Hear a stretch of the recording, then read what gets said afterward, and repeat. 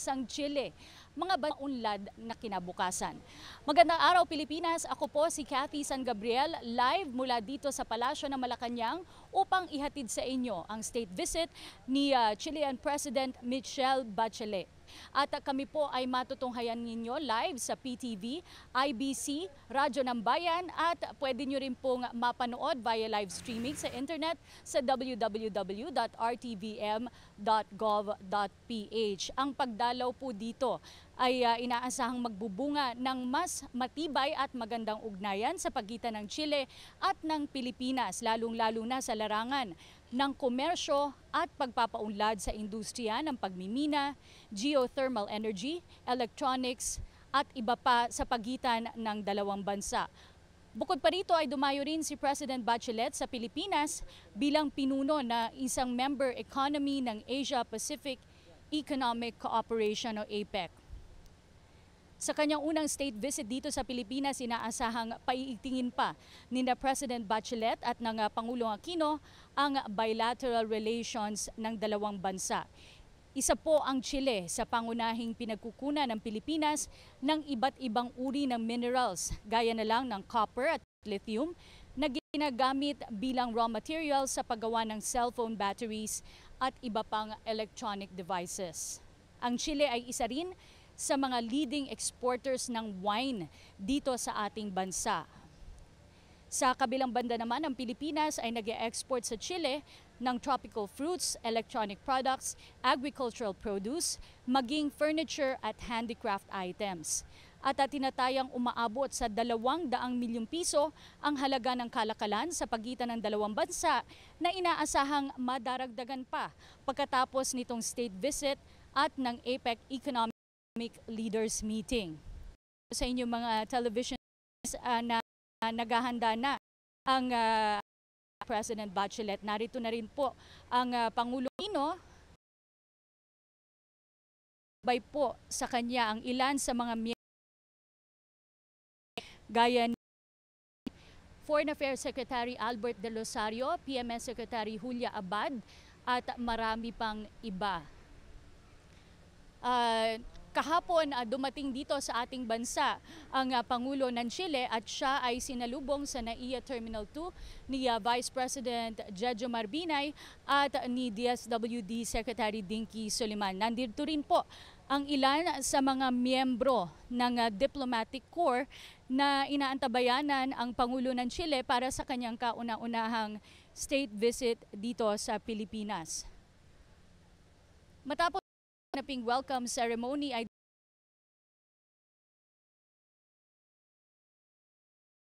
Matapos nito ay uh, magkakaroon ng agreements ukol sa mga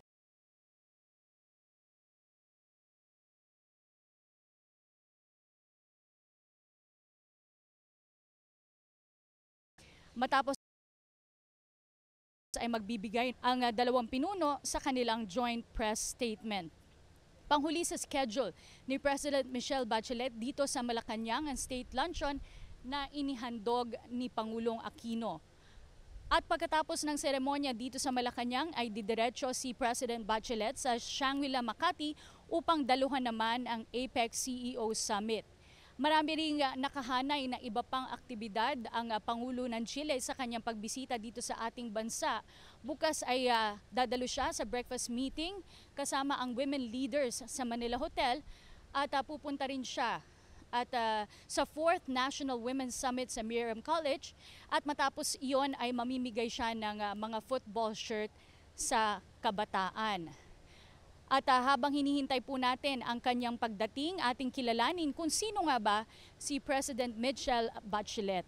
Bago pa man maging uh, pinuno ng bansang Chile, si President Veronica Michelle Bachelet ay isang physician at politiko na bihasa sa medical at military fields. Meron din po siyang tatlong anak. Siya rin ang kauna-unahang babaeng presidente ng bansang Chile na nahalal noong 2006 at naupo hanggang taong 2010.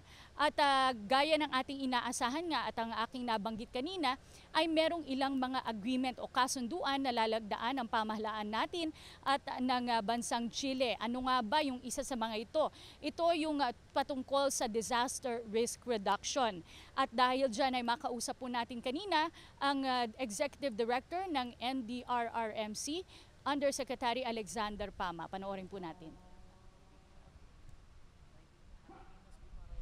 Ngunit bago po natin uh, tunghayan ang uh, nasabing panayam ay tila dumating na po dito sa uh, Palace Grounds ang convoy Lulan, ang uh, Pangulo ng Chile, Chilean President Michelle Bachelet. Uh, siya po ay nanggaling sa isang wreath-laying ceremony sa Luneta kung saan nag-alay nga po ang uh, Pangulo ng Chile ng uh, bulaklak sa dambana ng ating uh, pambansang bayani si Dr. Jose Rizal. Siya po doon ay sinalubong ni Manila Mayor Joseph Estrada at DSWD Secretary Dinky Soliman. At uh, matapos po niyan ay uh, nagtungo na po dito sa palasyo ang Pangulo ng Chile at sinalubong na po siya ng uh, Pangulong Benigno S. Aquino III. Tunghayan po natin ang state visit ni Chilean President Michelle Bachelet.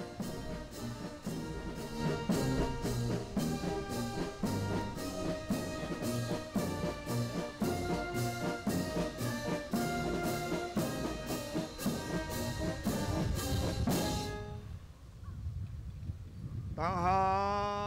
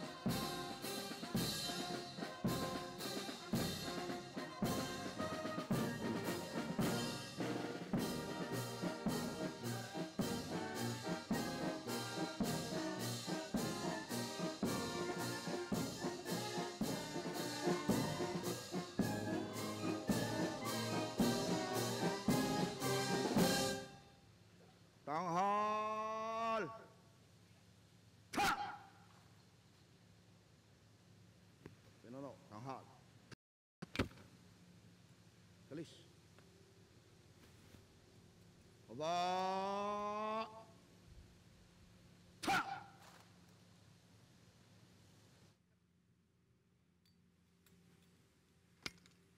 Your Excellency, the ceremony is over.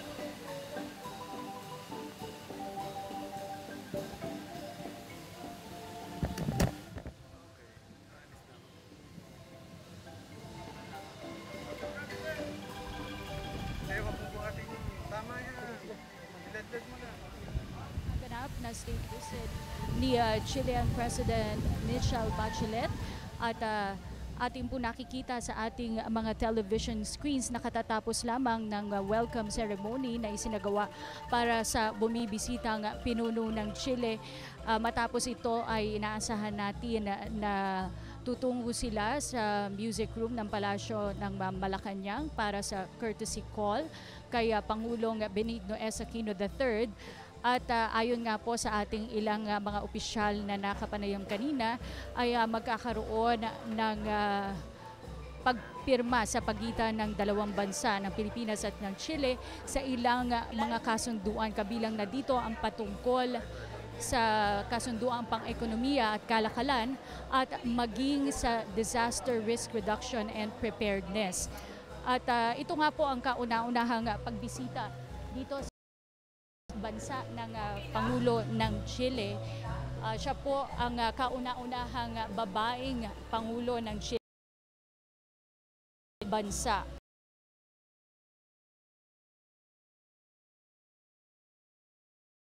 Si ah, President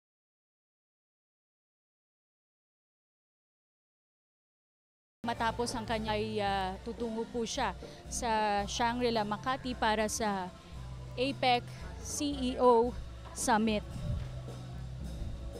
Tumungo na po sa loob ng ah, palasyo ng kasama ang ilan sa mga miyembro ng ah, kanyang delegasyon.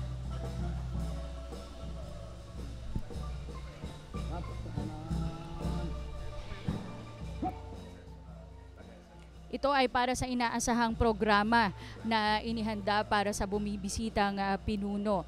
Ah, gaya ng aking nabanggit, ah, magkakaroon ng expanded bilateral meeting ang ah, magkabilang panig upang talakayin ang ilan sa mga mahahalagang issue na maaring ah, magpatibay pa ng ugnayan ng ah, Pilipinas at ng Chile. Matapos ang expanded bilateral meeting ay ah, magbibigay ng mensahe ang ah, dalawang pinuno sa kanilang joint press statement at ah, matapos yan ay ah, magkakaroon ng state luncheon na ihahandog ni ah, Pangulong Aquino para sa bumibisitang ah, pinuno ng Chile. Ang ah, pagdating dito ni ah, President Bachelet at ang kanyang state visit ay kaagapay rin ng kanyang pagtungo dito sa bansa para dumalo sa APEC Economic Leaders Meeting na gaganapin naman sa ating ah, bansa mula ikalabing walo hanggang ikalabing siyam ngayong ah, buwan. At ah, narito po ang ilan sa mga background tungkol sa bumibisitang pinuno ng Chile. Gaya nga ng aking nabanggit, siya ang kauna-unahang babaeng presidente ng bansang Chile mula 2006 hanggang 2010 at ah, naging ah, mahusay ang kanyang ah, pamumuno na nagresulta sa pagbabawas ng kahirapan sa Chile. Gayunpaman, hindi siya tumakbo para sa ikalawang termino dahil ipinagbabawal yon ng kanilang konstitusyon.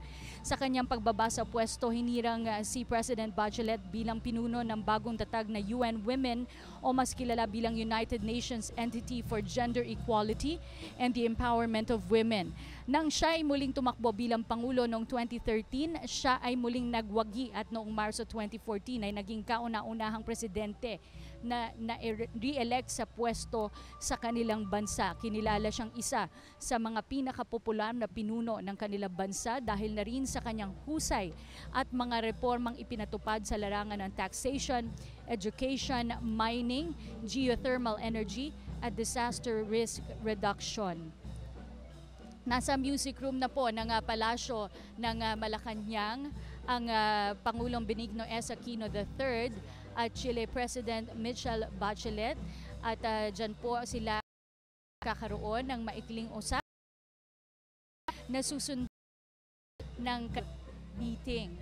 Uh, inaasahan po na sa meeting na iyon ay uh, magiging present o dadala rin ang ilan sa mga miyembro ng uh, gabinete ni President Bachelet, gayon din ang ilan sa mga opisyal ng ating uh, pamahalaan. Kasama na po dyan, inaasahan natin si Finance Secretary Cesar Purisima, DTI Secretary Gregory Domingo, Department of National Defense uh, Secretary Voltaire Gasmin, at iba pang uh, mga delegado upang uh, pag-usapan ang uh, ilang mga paksa patungkol sa pagnenegosyo at kalakalan at uh, patungkol din sa disaster risk reduction. At uh, kanina nga po ay uh, nakausap natin si NDRRMC Executive Director Alexander Pama at kanya pong nabanggit sa isa sa mga lalagdaan ng Pilipinas at ng Chile ay ang uh, uh, uh, agreement patungkol sa disaster risk reduction. Kung ano ang nilalaman nito, narito po panoorin natin ang ating panayam. Pama, pagdating po sa mga disaster at kalamidad, uh, marami pong dumarating sa Pilipinas at maging sa bansang Chile. Tama po yun. Um, ang, ang diferensya po, tayo po rito ay uh, parati alam naman natin, dalawampung bagyo uh, on the average yung tumatama sa atin. At ang Chile naman, ang kanilang karanasan ay mga earthquake ang tumatama sa kanila.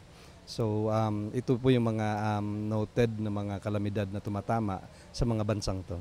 And Yusek, ngayong araw nga po ay meron po tayong mawi-witness na uh, uh, signing ng agreement sa bagitan ng ating bansa at ng Chile. Tama po yan. Uh, yung pong bansa ng Chile, yung kanilang, uh, kung hindi ko nagkakamali, yung kanilang foreign uh, secretary, foreign minister, at ang ating butihing uh, Secretary ng National Defense na chairman ng NDRRMC ay magpipirmahan po doon sa tinatawag nating Memorandum of Understanding kung saan yung MOU po nato eh, ito magiging kasunduan natin o ang ating understanding na mag-sharing tayo ng mga kaalaman at best practices sila tungkol sa earthquake at tayo naman tungkol sa bagyo. Mag-sharing po tayo at magbibigayan uh, um, ng uh, mga karanasan sa bagay na yan. And after this uh, signing of agreement, what are our expected outcomes, sir? Ang expected uh, outcomes po nito, um, sabi nga, yung kanilang mga pinag-aralan, kung ano yung mga magagandang bagay na ginagawa nila sa kahandaan para sa mga lindol, ay, ay kanilang ibibigay sa atin, isi-share sa atin. Tayo din naman, yung ating mga magagandang karanasan, pati na rin yung ibang karanasan natin, tungkol sa mga bagyo ay atin ding ibabahagi sa kanila. So tuloy-tuloy po yan, magpapalitan po tayo ng mga experts at mga pag-aaral na siyang mapag-uusapan natin.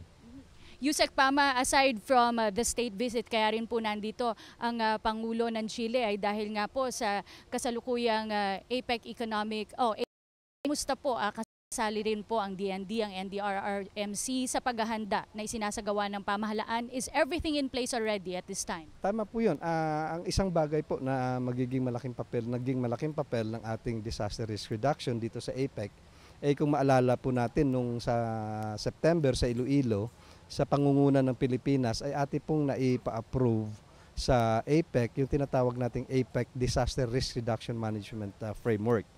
Ibig sabihin magmula ngayon sa pumumuno ng uh, pag-approve ng um, DRRM framework na yon, lahat ng uh, mga ekonomiya sa APEC meron ng batayan sa paggagawa ng mga plano, sa pakikipag-usap sa isa't isa, kung saan pare-pareho po yung ating mga pinaninindigan tungkol sa mga disaster. Maraming salamat po, Undersecretary Alexander Pama, Executive Director ng NDRRMC. At gaya nga po ng ah, nabanggit ni Undersecretary Pama ng NDRRMC, gaya ng Pilipinas ay madalis din pong ah, tamaan ng ah, natural disasters ang ah, bansang Chile. Ngunit ang pagkakaiba po natin na tayo po ay ah, typhoon prone samantalang sila po ay ah, madalas tamaan ng lindol. Kaya sa katunayan nga po noong Setyembre ay ah, may tumamang 8.3 magnitude na lindol sa bansang Chile kung saan limang taong nasawi.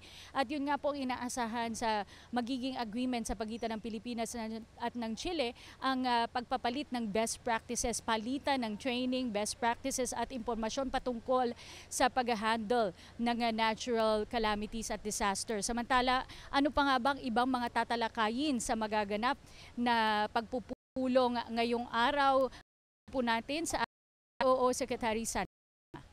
Ricoloma, kamusta po ang ugnayan sa pagitan ng ating bansa at ng Chile? Mainam po, no? maraming dekada na ang binilang sa kaaya-ayang pakikipag-ugnayan, pakikipagkaibigan at kooperasyon sa pagitan ng Chile at ah, Pilipinas. Meron tayong common heritage sa kanila at yun yung ating Spanish culture. Ah, sa lahat naman ng pagkakataon ay humahanap tayo ng paraan para mapalawig yung relasyon sa iba't ibang larangan, no? sa ekonomiya, kabuhayan, kultura at iba pa. Ano po ang inaasahan natin matatalakay ngayon sa pagitan ng ating Pangulo at ng ah, Pangulong Bachelet ng Chile? Maaring tungkol sa kalakal at negosyo, tungkol sa disaster reduction and management. No, kailan lang ay dumanas ang Chile ng isang ah, napakalakas na lindol, 8.3 magnitude. no? At ah, nagpahatid tayo rin ng ating paikisa sa kanila at ah, pagtulong. Katulad din ng pa- pagkikisa at pagtulong nila sa atin sa mga nakaraang kalamidad. Maaring bahaginan din natin sila ng ilan sa mga natutunan natin mga leksyon sa mga kahalintulad na kalamidad. Maraming salamat po sa inyong oras, PCOO Secretary Sani Coloma.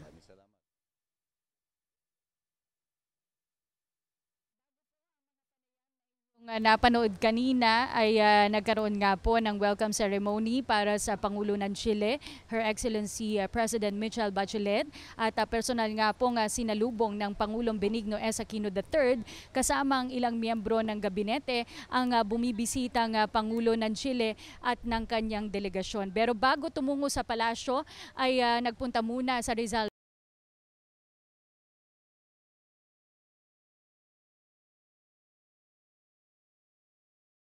ng uh, bulaklak o para sa isang wreath laying ceremony uh, sa ating uh, pambansang bayani. Sinalubong po siya sa Maynila ng uh, mayor nito na si uh, Mayor Joseph Estrada kasama po si uh, DSWD Secretary Dinky Soliman.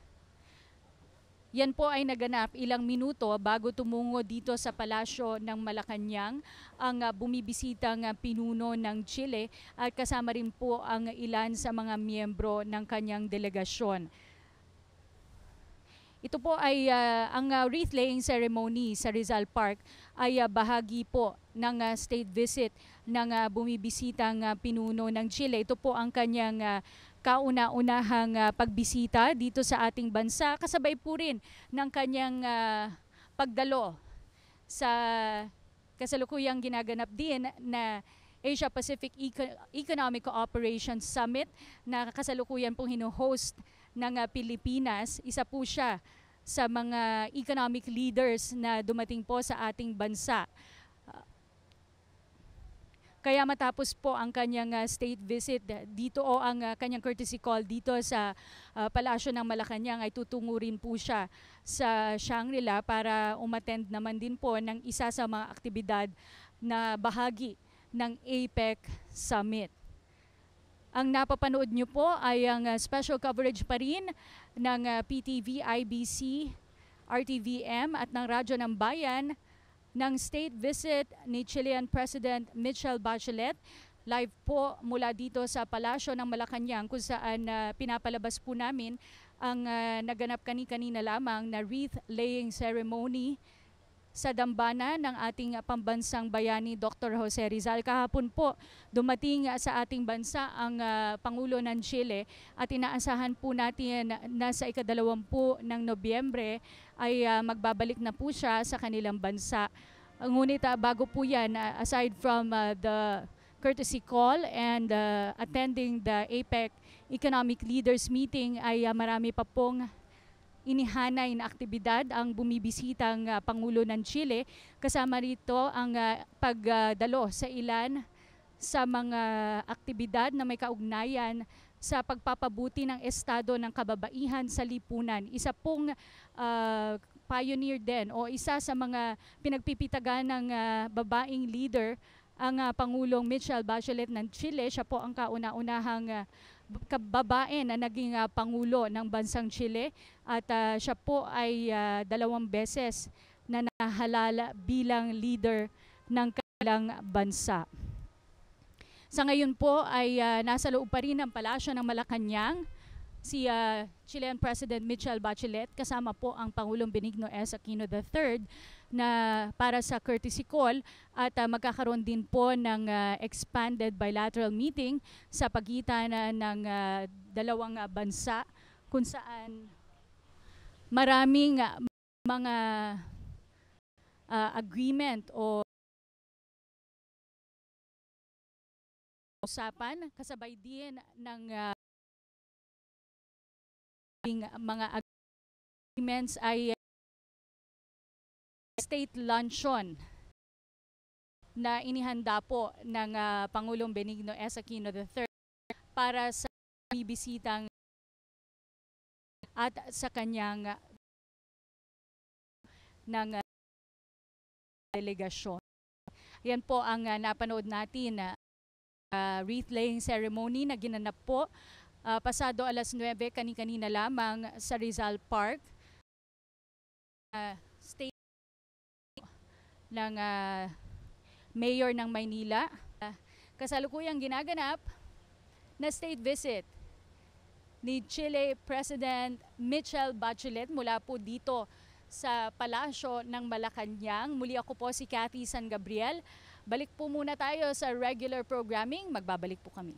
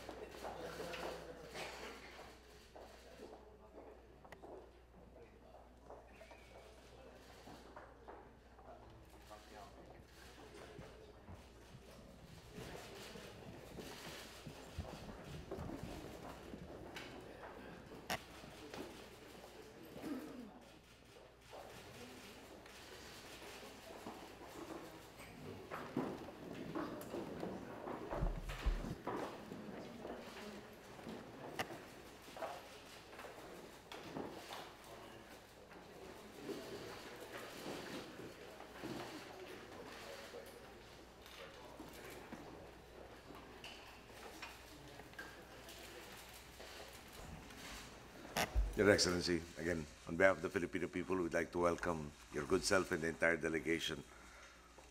And again, the wish that um, instead of all work, there will be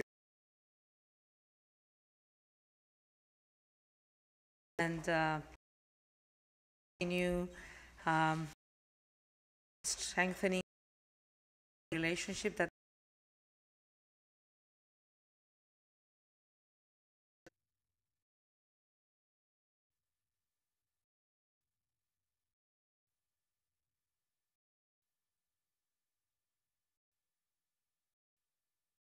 So as we have spoke uh, when we were in the bilateral, uh, there's lots of things that we have in common, lots of uh, challenges, but also uh, issues of interest. And uh, in that sense, uh, we are very happy about the MOU and the intention letter we're going to sign. And then.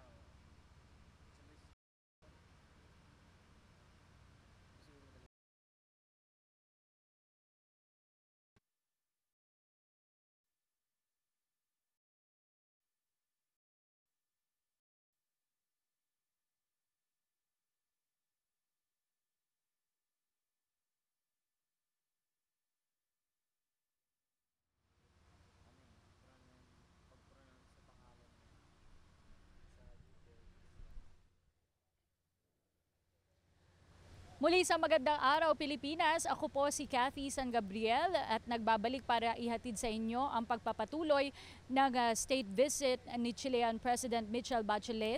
Kami po ay napapanood ninyo live mula dito sa Palasyo ng Malacanang kung saan uh, ilang sandali na lang po ay magtata- magtatapos na ang uh, expanded bilateral meeting na isinasagawa po ng uh, Pilipinas at ng Chile. Kanina ay uh, natunghayan po natin ang uh, ginawang courtesy call ni President Bachelet kay Pangulong Benigno S. Aquino III kung saan uh, kasama rin po ang kanyang uh, ilang uh, mga miyembro ng delegado ay uh, winelcome po ng uh, Pangulong Benigno S. Aquino III ang uh, leader ng Chile dito sa Palasyo ng Malacanang. Matapos po ang uh, isinasagawang uh, expanded bilateral meeting ay inaasahan po na magbibigay ng kani-kanilang uh, mga press statements ang dalawang uh, pinuno ng bansa at uh, matapos iyon din ng paglag sa ilang uh, mga po ayon sa ating uh, na sina PC at uh, NDRRMC Executive Director, Director Alexander Pama na magkakaroon ng uh, paglag sa kalakala at uh, pag at maging pagpapalitan sa disaster reduction. At ayan po ang inaantabayanan natin ilang sandali lamang matapos ang signing ng agreement ay uh, isasagawa na po ang state luncheon na inihanda ng uh, ating pamahalaan para bumibis para sa bumibisitang uh, pinuno ng bansang Chile. At uh, ito po ang uh, kauna-unahang uh, pagbisita ng uh, Pangulong uh, Bachelet dito sa ating bansa. Uh, siya po ay nasa kanyang ikalawang termino na bilang uh, Pangulo ng Chile at siya rin ay dadalo sa ano, APEC Leader Summit din po ng bansa ngayong taon po ng Pilipinas ang bansang Chile. Isa ang Chile sa pinagkukunan ng Pilipinas ng iba't ibang uri ng mga minerals gaya ng copper at lithium na ginagamit natin bilang raw material sa paggawa ng cellphone batteries at iba pang electronic devices. Ang Chile rin ay isa sa mga leading exporters ng wine dito sa ating bansa.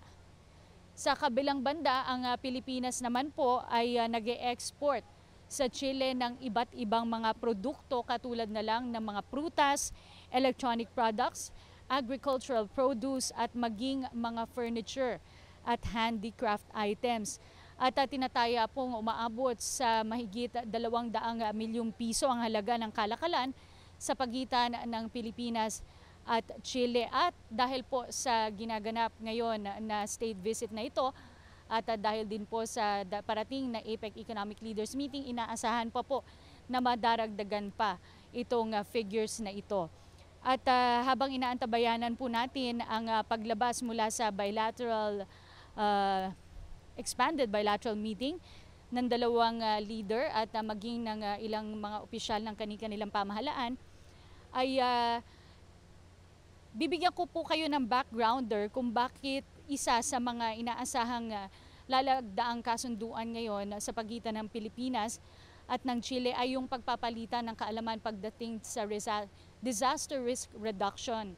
Ang uh, Chile po ay uh, taon-taon ay uh, nakararanas ng malalakas na mga pagyanig dahil ito po ay uh, matatagpuan sa tinatawag na Pacific Ring of Fire.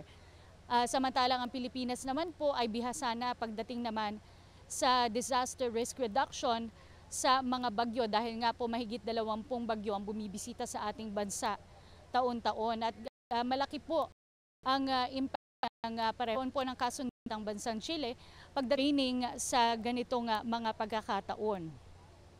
Yun po ang uh, nabanggit kanina sa atin Undersecretary Alexander Pama ng National Disaster Risk Reduction and Management Council o NDRRMC. At pagdating nga po naman sa kalakalan, dahil nga rin po isa sa mga trading partners ng Pilipinas, ang uh, bansang Chile inaasahan po na mapagtit ng uh, kasunduan na inaasahang lalagdaan araw dito sa Palasyo ng Malacanang ay ang pagpapab ng ah, kalagayan ng mga small pasok Pilipinas at ng Chile.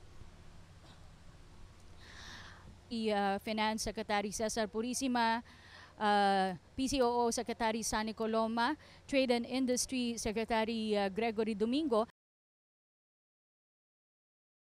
niyang bansa hanggang uh, taong uh, 20 siyang nahalal.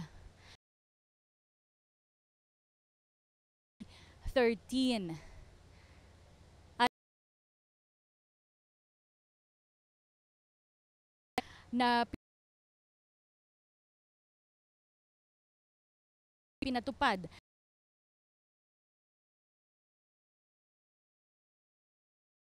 Sa larangan ng taxation, education, mining, geothermal energy, at disaster risk reduction. Ang uh, Chile ay isa sa mga bansang may tuturing na open market kung saan uh, karamihan sa mga ini-import nilang kalakal ay uh, nakapapasok sa kanila ng duty free. Itinuturing din ang kanilang bilang isa sa kung saan uh, ay uh, malaya sa impluensya ng politika. At uh, nang maupo po bilang uh, presidente si Michelle Bachelet noong uh, 2014 ay agad niyang inirekomenda ang uh, pagtataas ng buwis, magandang reputasyon. Ginanap sa Russia tatlong taon ang ating uh, Pangulong uh, pagkakahalintulad ng dalawang bansa dahil uh, gaya nga po ng aking nasabi kanina, kapwa nasakop ng Espanya, ang Pilipinas at Chile. Noon, kaya ayon sa dalawang leader, ang dalawang bansa ay may uh, tinatawag na shared heritage. Bukod uh, pa roon ay nagkasundo ang Pilipinas at Chile na palakasin pa ang ugnayan sa pagpapaunlad ng geothermal at mining sectors. At handa na rin pong uh, makinig sa kanilang uh, joint press statement ang uh, ilan din sa mga miyembro ng delegasyon ng Chile na inyo pong nakikita sa inyong mga TV screens at lumabas na po ang Pangulong Benigno S. Aquino III kasama ang Chilean President Michelle Bachelet. Panuurin po natin. His Excellency, the President of the Republic of the Philippines, and Her Excellency, the President of the Republic of Chile, will now witness the signing of agreements. The first agreement will be on disaster risk reduction and management operation between the Philippines and Chile in the area of disaster risk reduction and management with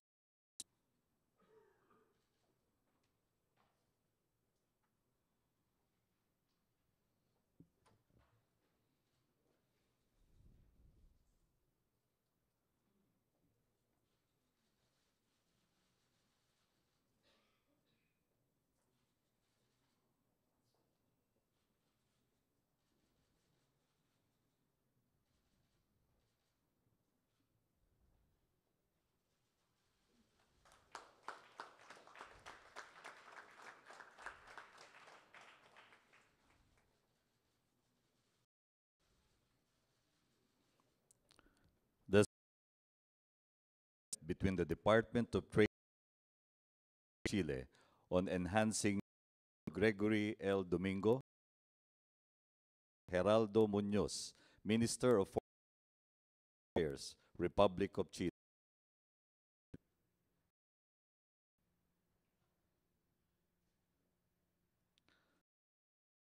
The letter of intent signifies the Philippines and Chile's intent to commence this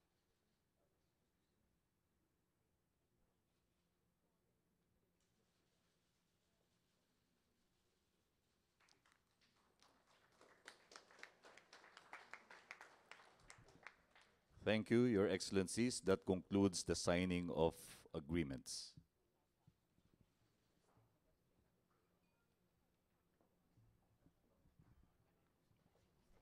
His Excellency Benigno S. Aquino III, President, Republic of the Philippines. Your Excellency, President Michelle Bachelet, members of the official delegation, distinguished guests, members of the press, ladies and gentlemen, good morning. It is truly a pleasure to welcome President Bachelet and her delegation on her first visit to the Philippines. Separated though we may be by the vast Pacific Ocean, the Philippines and Chile have enjoyed warm relations for almost 70 years. Relations founded on a shared history and commonalities in faith, tradition, culture, and values. In particular, Chile and the Philippines have a common experience of facing the challenges of being newly restored democracies. After all, after our peoples reclaimed their liberties and rebuilt their institutions towards becoming truly vibrant democracies. Our gathering today is indicative of our shared desire to advance this partnership towards its end. The President and I had engaging and broad-ranging discussions on the need to strengthen our relationship and also to explore new opportunities for cooperation. One such area in which we have this with Chile and Central Chile. President Bachelet and I witnessed the signing of an NOU on disaster risk reduction and management, which aims to institutionalize cooperation between our governments in preparation for and during the onset of natural disasters. As regards economic interactions, the President and I witnessed the signing, as all of you did, of a letter of intent on enhancing trade relations. Through this, we mandate the Department of Trade and Industry of the Philippines and the General Directorate for International Economic Relations. We are pleased to know company and Altera Power Corporation has a subsidiary in Chile. Exploration of geothermal energy can also by contributing to your energy requirements and enhancing the common body of expertise we share. We are hopeful that this will only encourage more and further business activities between our countries. The President likewise noted that national crime, thereby promoting better coordination between the Philippines law enforcement agencies. Initiation for the mutually beneficial cooperation between various multilateral fora, particularly at the UN and APEC. Indeed, there is so much potential for growth in our relations. For instance, in terms of education, the Philippines can provide technical assistance to teach the we can and must explore. With this being a significant economic activity for both our countries, we can learn much from each other. Thus, recognizing the significant momentum that has now been generated by this visit, President Bachelet and I committed to intensify engagement between our countries in multiple areas, which includes the observance of more regular official exchanges. This will allow us to bring the bilateral relations between the Philippines and Chile to a higher and more comprehensive level, and consequently ensure that we maximize the friendship and relationship between our two countries for the benefit of our peoples. Thank you. Thank you, Mr. President. Her Excellency Michelle Bachelet, President. And it's the oldest diplomatic tie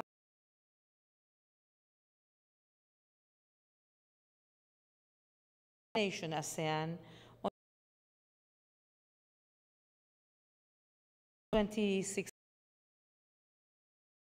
we will celebrate 70 years of relation between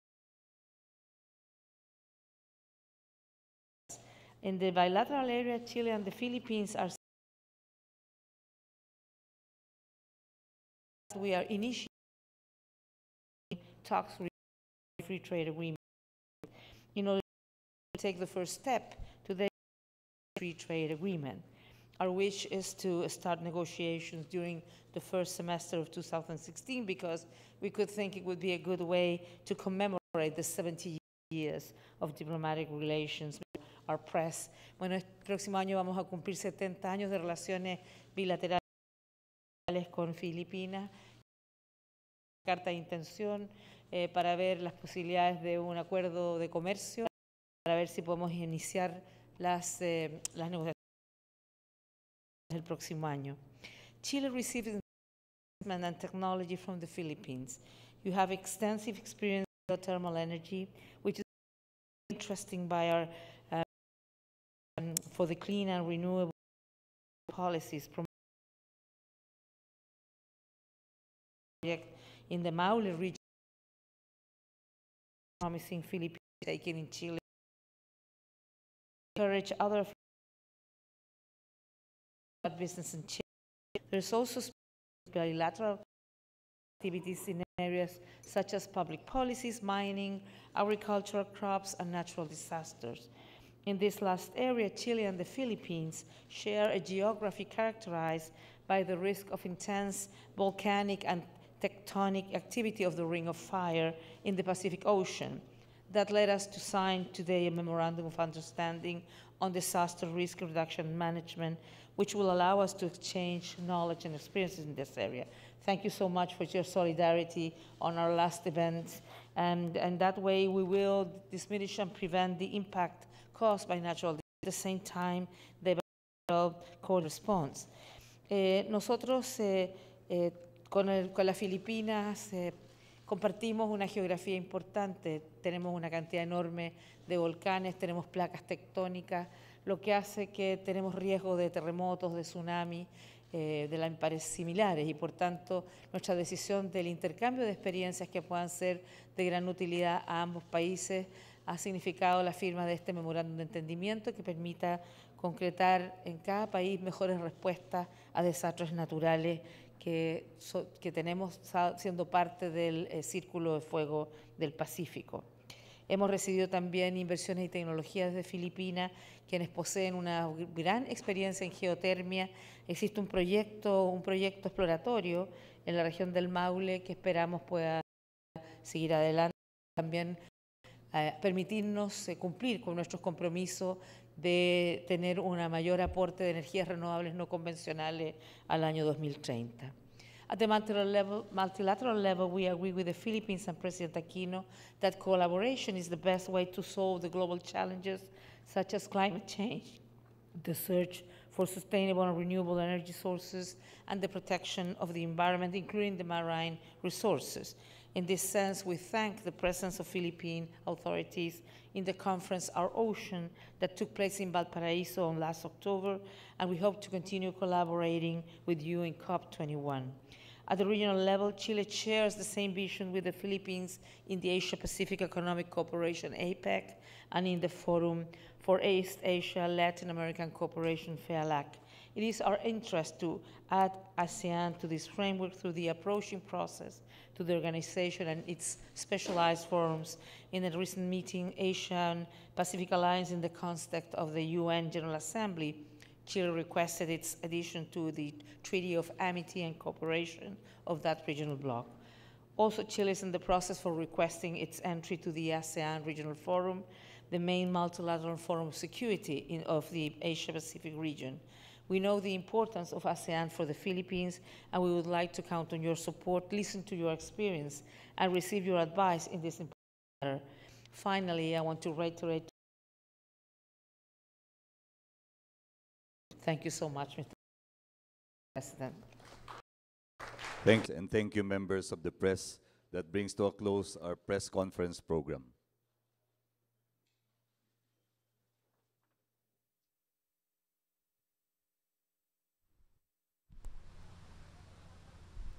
Atin po nga natunghayan ang ah, naging ah, signing of agreements sa pagitan po ng ating bansa at ng Chile at ah, matapos po yan ang, ka- ang ah, katatapos lamang na press statements na isinagawa ng ah, Pangulong Benigno S. Aquino III at ng ah, bumibisitang ah, Pangulo ng Chile na Her Excellency Michelle Bachelet. At ah, sa kanyang ah, naging ah, talumpati ay ah, ayon sa Pangulong Aquino napaigting ng kanilang ah, naging pagpupulong ni President Bachelet ang ah, mabuting ugnayan sa pagitan ng ating bansa at ah, ng Chile na nagtagal na ng ah, humigit kumulang 70 taon. Aside from yung ah, mga agreement na nilagdaan ah, sa pagitan ng ating bansa at ng Chile, ilan din sa mga natalakay at napagkasunduan sa kanilang naging expanded bilateral meeting sa aspeto ng kalakalan ang ah, mapagtibay ang ah, pagde-develop at ah, palitan pagdating sa sektor ng enerhiya, partikular sa geothermal energy. Natalakay din ang ah, paglaban at pagpapaigting ng paglaban pa ng ah, ating bansa at ng Chile sa transnational crimes. Sa aspeto naman po ng ah, edukasyon, ah, napag-usapan din ang pagpapadala ng mga guro sa Chile upang ah, magturo ng ah, Ingles sa Spanish-speaking nation. Pagdating naman sa agrikultura, ang ah, palitan ng impormasyon at teknolohiya sa aspeto ng aquaculture. Umaasa rin ang ah, Pangulong Benigno S. Aquino III na patuloy pang mapagbubuti ang kooperasyon ng ah, ating bansa at ng Chile. Pinasalamatan naman ni President Michelle Bachelet ang ah, Pangulong Aquino at ang ah, taong bayan sa ating ah, naging ah, mainit na pagtanggap sa kanya at sa kanyang delegasyon sa ating ah, bansa. At ayon pa sa kanya, ah, naging ah, mahalaga ang Pilipinas ah, pagdating sa diplomatic relations ng Chile dahil ang ating bansa nga ang ah, kanilang ah, may pinakamatagal ng ugnayan sa lahat ng mga bansang kasapi ng ASEAN na sa susunod na taon na, na July 4 ay ah, magiging 70 taon na ang diplomatic relations ng ah, ating bansa at ah, ng ah, bansang Chile. Ilan din sa mahalagang natalakay sa naging pagpupulong ng Pangulong Aquino at ah, ni Chilean President Michelle Bachelet ang ah, pagsugpo sa epekto ng uh, climate change na nakaapekto di lamang po sa ating bansa at sa Chile, ngunit maging sa iba pang mga APEC member economies.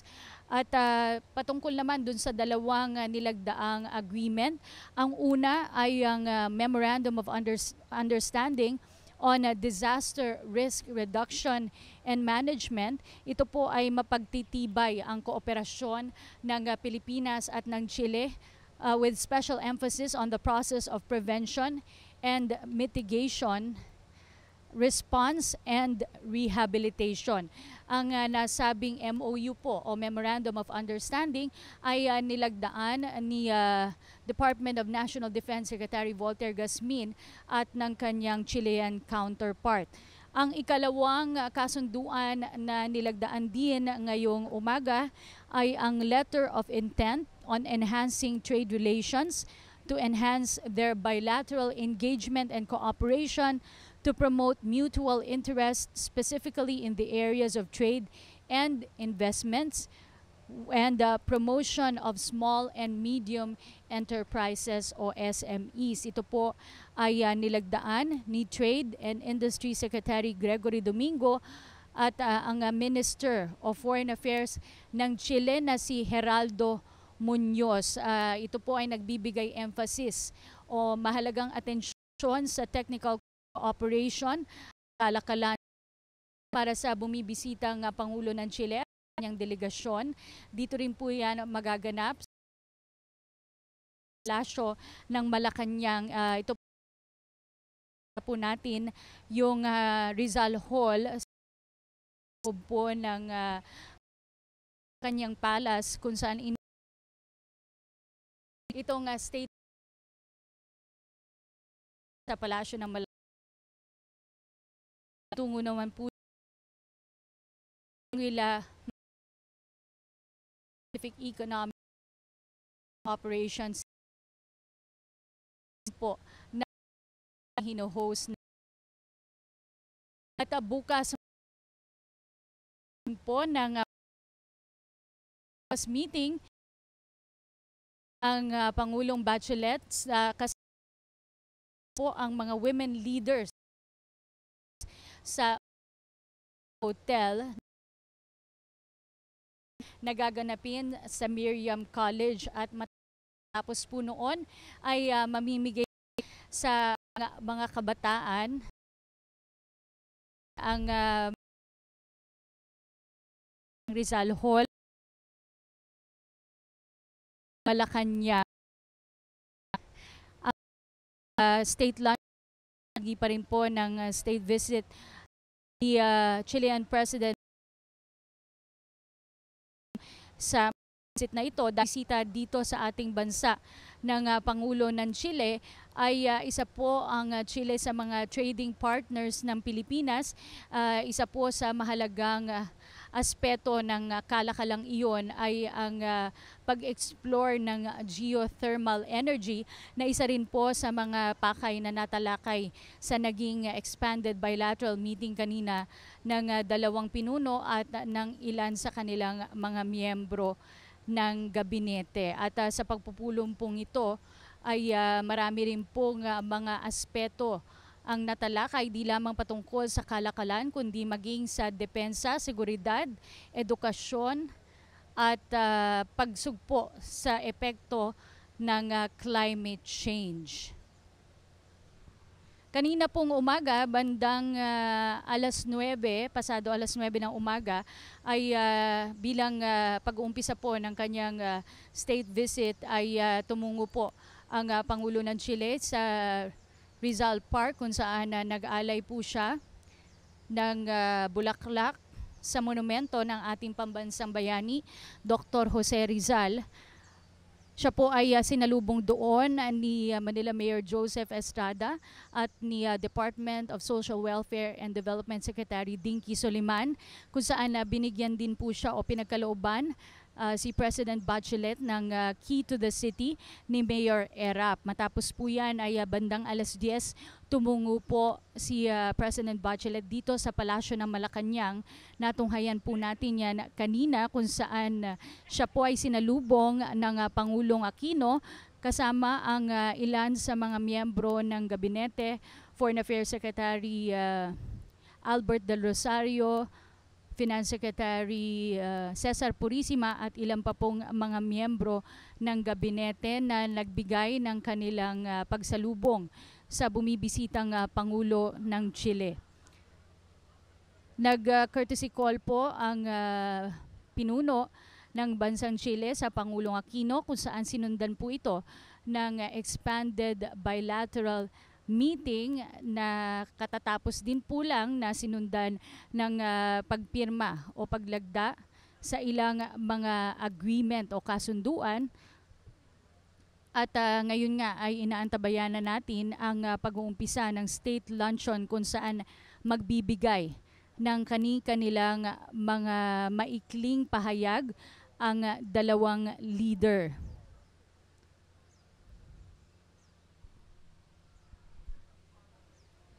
Nagsisidatingan pa rin po dito sa palasyo ng ah, Malacanang ang ilan sa mga panauhin na dadalo sa state luncheon na inaasahan nating mag-uumpisa ilang sandali na lamang. At ah, isa sa mahalagang ang binibigyan ng tuon ah, dito sa ah, pagbisita ni ah, President Bachelet sa Palasyo ng Malacanang ang ah, pagpapaigting pa ng ah, ugnayan ah, pagdating sa kalakalan.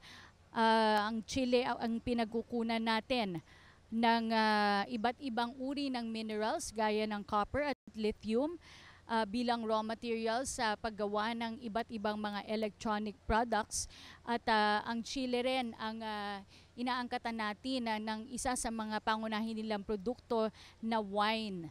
At ah, tayo naman sa bahagi ng Pilipinas nag-e-export sa bansang Chile ng iba't ibang ah, mga produkto tulad na lang ng mga furniture at handicraft. Gayon din ang ah, electronic products, agricultural aspeto pagdating sa trade economy yung ah, ng ah, pag-uusap ng uh, Mitchell Bachelet o ang kinikita ng ah, Pilipinas mula sa mga pag-aangkat na o pag-export nito ng ah, produkto sa bansang Chile. At, ah, ang Pangulo po ng Chile ang ah, unang ah, babaeng presidente ng kanilang bansa at ah, bihasa po siya sa medical at military field at ah, bago siya naging ah, ay ah, humawak ng iba-iba pang mga posisyon. Gayunpaman ay ah, nahalal po siya ng dalawang beses at itinuturing na isa sa mga naging ah, pinaka-popular ng leader ng ah, nasabing bansa.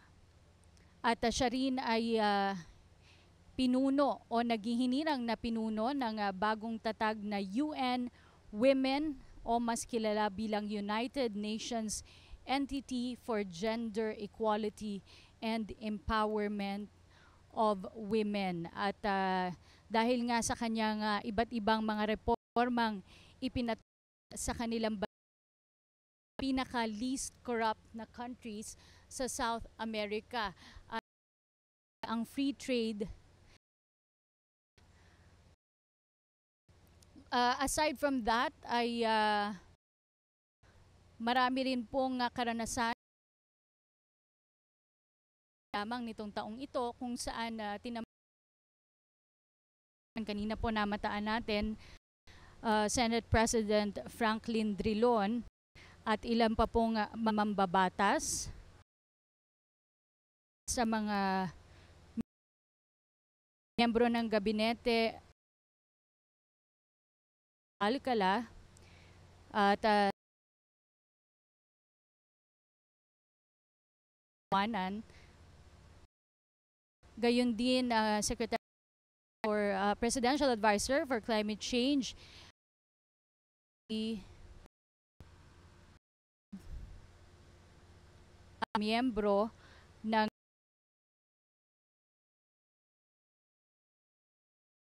ng ah, Pilipinas ngayong leaders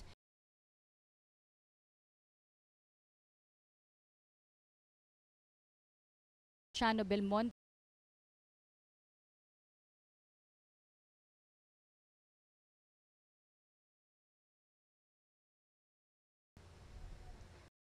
ng ilan sa mga miyembro ng ah, Senado uh, nakit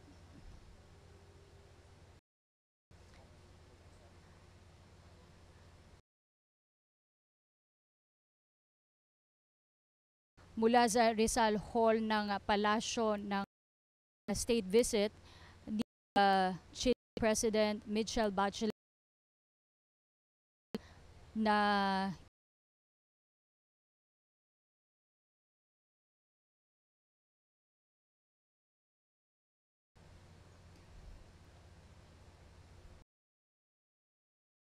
Sean at ah, gaya po ng nakagawian magkakaroon po yan ng ilang mga cultural presentation para ipakita sa ibang mga bansa ang ganda ng kultura at sining ng Pilipino.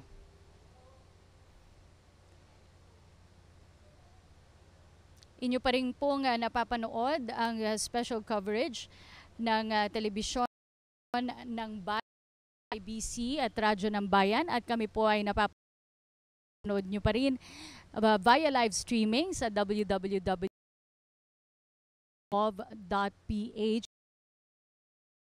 saan uh, uh, patuloy po tayong nakaantabay sa mga pangyayari sa loob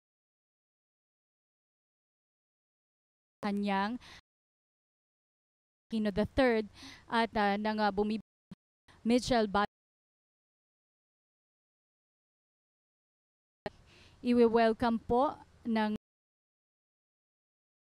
bisitang ah, mga ay ah, mag po ng kani-kanilang maikling pahayag ang ah, dalawang leader.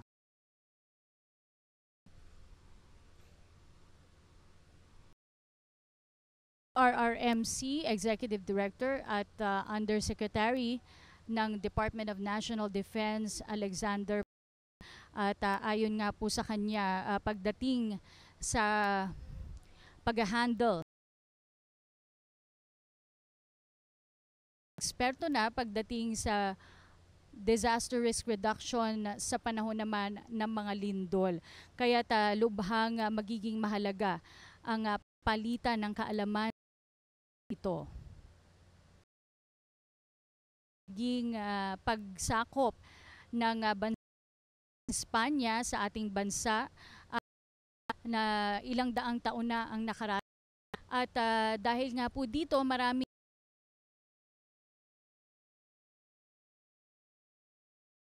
lang mga Kita rin po natin DTI sa ating bansa uh, Chilean President uh, dumating po siya ang alauna ng hapon uh, sa NAIA Terminal 2 kung saan uh, sinalubong po niya o sinalubong po siya na ni uh, Vice President Jejomar Binay at ni uh, DSWD Secretary Dinky Soliman. Ng uh, pagdating pa rin ng ilang pang mga na APEC sa ating din po ng pang mga bilateral meetings ang uh, Pangulo, hindi lamang po sa kay uh, President Bachelet kundi maging uh, sa ilang pang mga leader ng uh, mga member economies na paparating din po dito sa ating bansa kasabay nga po ng uh, APEC Summit na hino-host ng ating bansa. Uh, kahapon po nagsimula ating asahan po na hanggang uh, magsisidatingan pa po ang ilang ng ilang uh, mga uh, ulong ng uh, Pangulo bukas sa mga bilateral meeting ang uh, Vietnam at uh, marami pa pong iba, Papua New Guinea at uh, magsasagawa rin po ng uh, state visit ang Mexico dito sa palasyo ng Malacanang. Ilan po yan sa mga aktibidad na nakahanay uh, sa uh, schedule ng Pangulo. Uh, hindi po yan bahagi ng uh, APEC Summit ngunit uh, dahil nga po nandito na sa bansang ilan sa mga pinuno ng APEC member economies ay uh, napagpasyahan po ng ilan sa kanila na makipagpulong na rin sa Pangulong Aquino upang talakayin na ang ilang mga mahalagang aspeto pagdating sa relasyon ng uh, Pilipinas at ng kani-kanilang mga bansa. Samantala, ang inyo pong uh, nakikita ang uh, ayang eksena sa loob ng Hall dito po sa kanyang palace kung saan inabayanan pa rin po ni uh, Chilean President Michelle Bachelet at uh, sa state luncheon na hinost ng uh, Pilipinas. Uh, o huling bahagi ng uh, state visit ng uh, bumibisita Chilean President. Uh, hundreds of government officials and uh, politicians kanyang para sa na uh, katatag ng uh, bilateral meeting pati ang uh, sa ilang uh, mga ng Chile at uh, yan ay uh, sila bigay ng kanilang mga statement.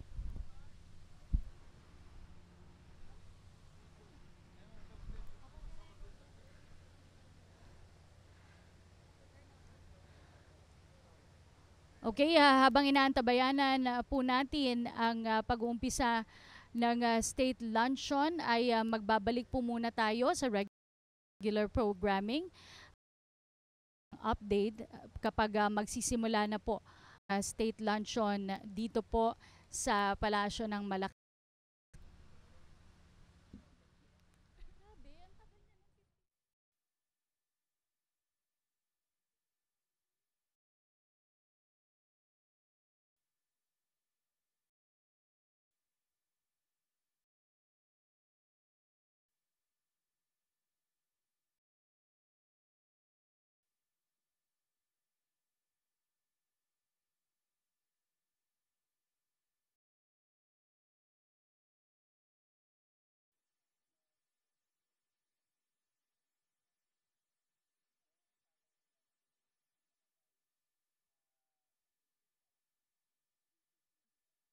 Your Excellency, Michelle Bachelet, President of the Republic of Chile. Benito Simeon Aquino III, President of the Republic of the Philippines.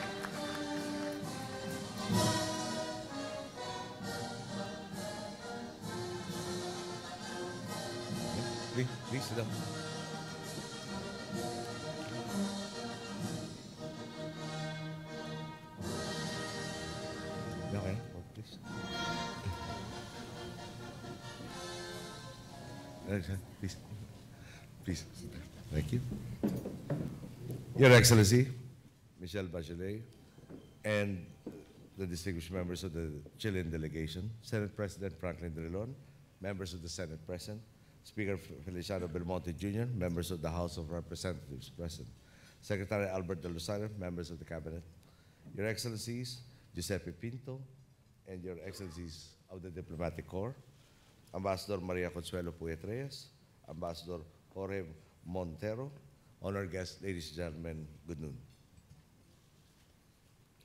Madam President, your visit today marks an important chapter in the deepening of our country's relations, one that has increasingly become close since the 1990s.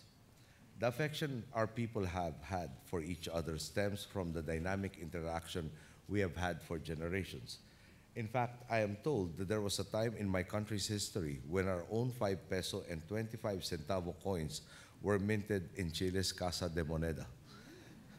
Beyond this bond of history, Chile and the Philippines share unique experiences, one of which is the our peoples struggle to reclaim freedom of our nations and consequently in Madam I can say dictatorship and thus demonstrated the solidarity and sacrifice required to build a vibrant democracy together with your people. As individuals who had to endure hardship and exile under our country's dictatorial regimes, you and I know full well the terror that tyranny brings. And by regaining our liberties, our function has been to make democracy inclusive for everyone. It is my belief that if we fail to do so, there might be that temptation for some quarters to return to some form of totalitarianism. Thus, in our own capacities as leaders of our peoples, we must continue to exert every effort to live out the beliefs that our countrymen are worth fighting for and that remembering the sacrifice of the past gives us a firm foundation for a prosperous, inclusive future that will never allow tyranny to return. Just as Chile reclaimed its democracy, so too have you and your people demonstrated resilience and courage in the face of calamities. Indeed, you have won the admiration of Filipinos and of the rest of the world. And in behalf of my people, I say, "Siempre estaremos ahí para nuestros hermanos chilenos. As our nations now prepare to celebrate the 70th anniversary of our warm and meaningful diplomatic relationship, which will take place next year, I am reminded that while we may be as Pacific, our vision for our peoples will never be foreign to each other. Realization, more inclusive background, together with problems, solutions.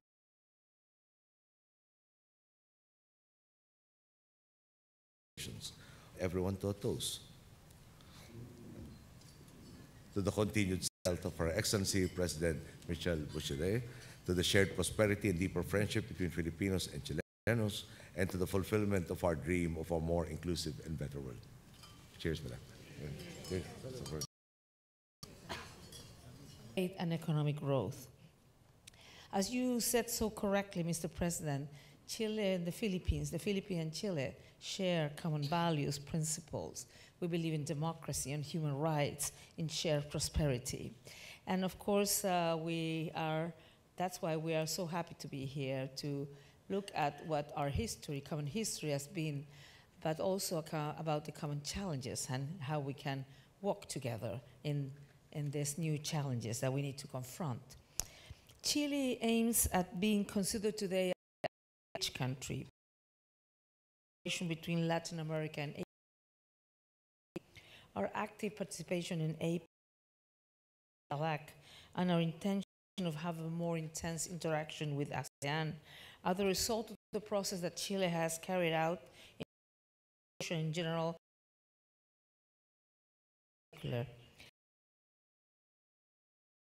The arrival of Filipino investment to our country.